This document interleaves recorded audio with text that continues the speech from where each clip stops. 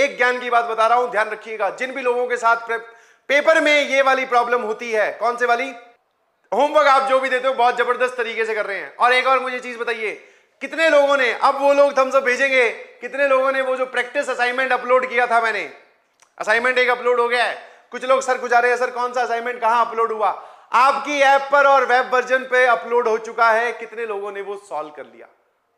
जल्दी से बताइए, जल्दी जल्दी जल्दी यस यस यस एवरीवन बताइए please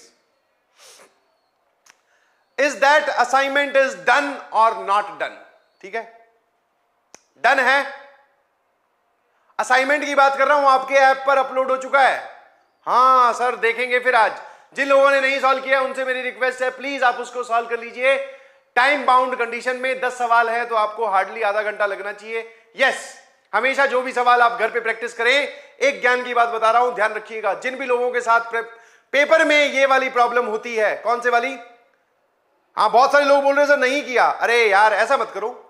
ऐसा मत करो, क्योंकि फिर अगर तुम लोग सॉल्व नहीं करोगे, क्योंकि वो तुम्हारे लिए ही है, और तुम सॉल्व नहीं करोगे तो फिर मैं क्यों उसको अपलोड करवा रहा हूँ? तो प्लीज़ आप सॉल्व कीजिएगा। कोई बात नहीं, अगर आपने नहीं सॉल्व किया तो सॉल्व करें, और उसके डाउट्स आप इधर उधर ना पूछें उस असाइनमेंट के बिकॉज़ उसका वीडियो सॉल्यूशन भी अपलोड कर दिया जाएगा। उसका वीडियो सॉल्यूशन भी अपलोड कर दिया जाएगा। ना हाँ मिल जाएगा आपको। कल अपलोड हुआ था वो। कल वाली डेट पर जाके देखना, वहाँ पे आपको प्रैक्टिस असाइनमेंट नाम से मिल जाएगा। दस सवाल हैं, आधे घंटे में आपको सॉल्व करना है। और ज्ञान की बात, सर, आप क्या बता रहे थे? आप बता दीजिए।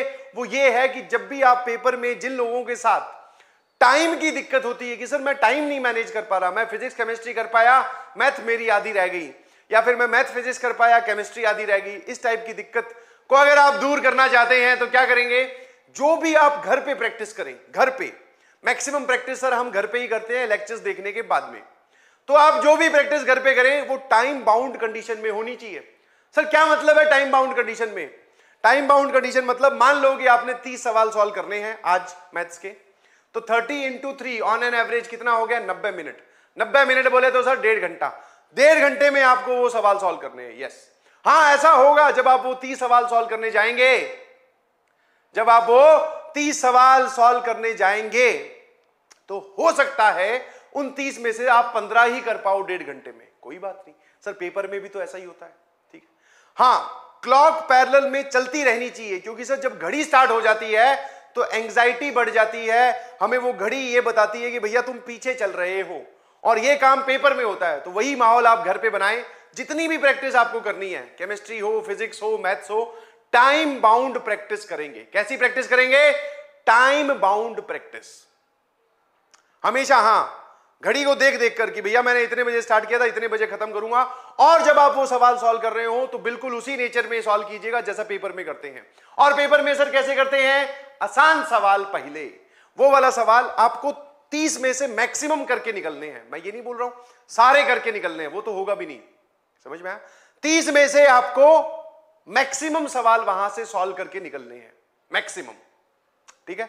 तो इससे क्या होगा, हमारी हैबिट बनती जाएगी, घर पे भी सर जब हम इतनी ज़्यादा प्रैक्टिस कर रहे हैं तो उसमें हैबिट ये होगी कि अच्छा टाइम में करना है एक तो और आसान कौन सा है, वो छांटना तुम्हें आ जाएगा कि भैया पहले सवाल नंबर सेवन करूँगा, फिर इलेवन फिर फिफ्टीन करूँगा, फिर सिक्सटीन करूँगा, फिर ट्वेंटी वन करूँगा, ऐसे करके, क्योंकि ये मुझे आसान आसान लग रहे हैं।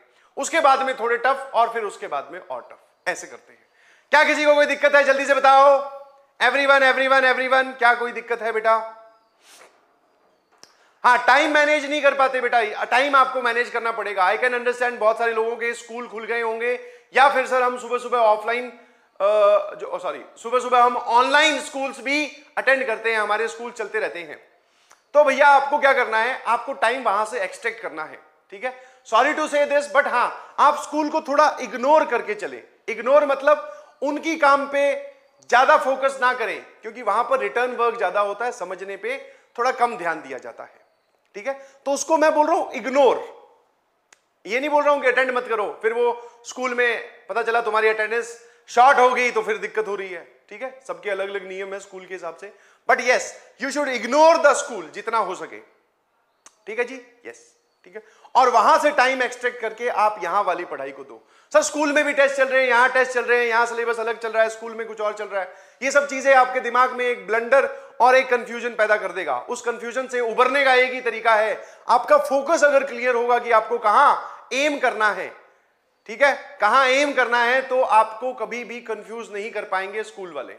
बट हाँ कभी स्कूल में टेस्ट आए तो वहाँ चले गए, यहाँ वाली क्लासेस छोड़ दी, यहाँ टेस्ट आए तो स्कूल में क्लासेस छोड़ दी। चलो स्कूल वाली क्लासेस छोड़ते हो तो कोई दिक्कत नहीं है। बट अगर आप यहाँ पर क्लास मिस करते हो तो भैया बैकलॉग इकट्ठा हो जाएगा।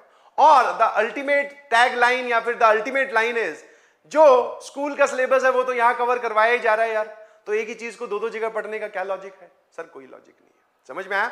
तो एक्सट्रैक्ट करो अपना टाइम जितना हो सके। और स्कूल में तो वैसे ही बहुत सारी छुट्टियाँ आती है यार।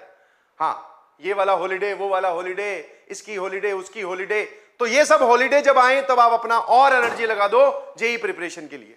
क्या मेरी बात समझ पा रहे हो? इसी को ही टाइम मैनेजमेंट बोलते हैं। इसी को ही टाइम मैनेजमेंट बोलते हैं।